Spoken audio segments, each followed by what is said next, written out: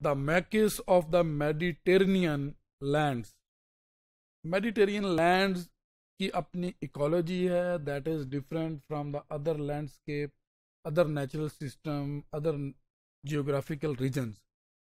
वहाँ important cheese that is need to be understand that is the maquis maquis इसका plural है, भी maquis है a scrub land vegetation of the Mediterranean region Mediterranean region में vegetation है scrub land में compose primarily of the leathery broad leave थोड़े जब से बड़े उनके पत्ते होते हैं एवरग्रीन प्लांट्स जो प्लांट्स एवरग्रीन रहते हैं और स्मॉल ट्रीज ये छोटे छोटे होते हैं ये बहुत बड़े बड़े ट्रीज नहीं बनते. ये मेडिटेरियन ट्रीज हैं लेकिन इनके पत्ते ज़्यादा चौड़े होते हैं लेकिन ये स्मॉल लीव्स होते हैं. सो so, जैसे डेजर्ट रीजन में एक स्पेसिफिक इकोलॉजी है प्लांट्स की, इसी तरह मेडिटेरियन रीजन्स जो हैं। मेडिटेरियन रीजन्स में प्लांट्स की जो इकोलॉजी है दैट इज़ डिफरेंट प्लांट्स का स्टाइल वो कैसे हैं, क्योंकि उस वेदर और उस इन्वायरमेंट के साथ उनकी कंफर्टेबिलिटी है। Maquis occurs primarily on the lower slope of mountains mountains की जो लोअर स्लोप है स्लोप वाली साइड है, जहाँ थोड़ी सी मट्टी जमा हो जाती है। और साथ में अकॉर्डिंगली उन्हें आ, कुछ पानी जो ज़रूरत का है आल दो कि वो बहुत ज़्यादा हो सकता है या कम हो सकता है वो उन्हें मिलता है। Bordering the Mediterranean Sea Mediterranean Sea के जो बॉर्डरिंग एरियाज़ हैं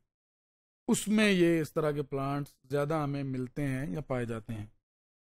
Mediterranean also knows as the Mediterranean region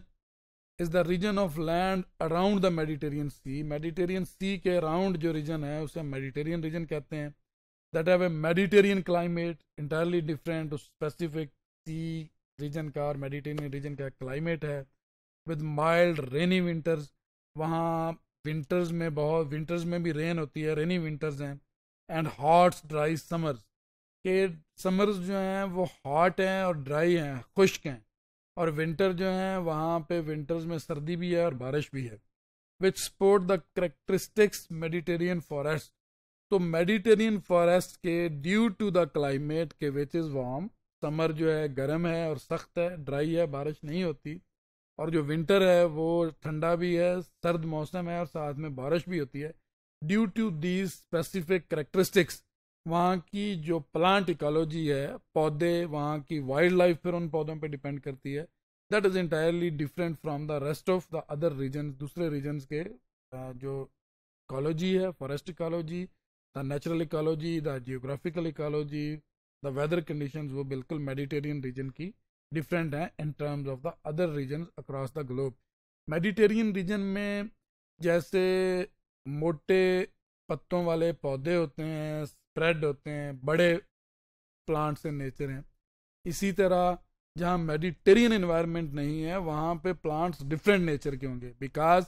Mediterranean region Has the environment that is different in nature in term of summer and the winter इसी तरह जो दूसरे reason हैं वहाँ का टेम्परेचर बिल्कुल डिफरेंट हो सकता है तो to understand and to tackle all this situation to know the Mediterranean environment and to study all this. This is interesting in the environmental sociology, and scientists used to understand and used to explain the Mediterranean environment, its effects, its impacts.